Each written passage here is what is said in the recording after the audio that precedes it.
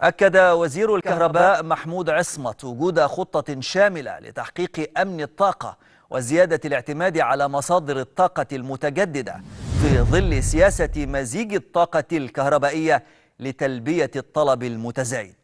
وخلال تفقده محطة العاصمة الإدارية لتوليد الكهرباء أشار عصمت إلى تنفيذ خطة عاجلة للحد من تخفيف الأحمال وتحسين جودة التغذية وكفاءة استخدام الوقود التقليدي وخفض الفاقد في التيار خاصة في شبكات التوزيع.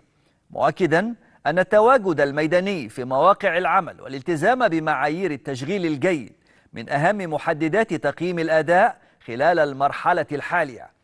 وأوضح وزير الكهرباء أن محطة العاصمة الإدارية إحدى أكبر المحطات في الشرق الأوسط اعتمادا على تبريد الهواء من خلال مكثفات التبريد.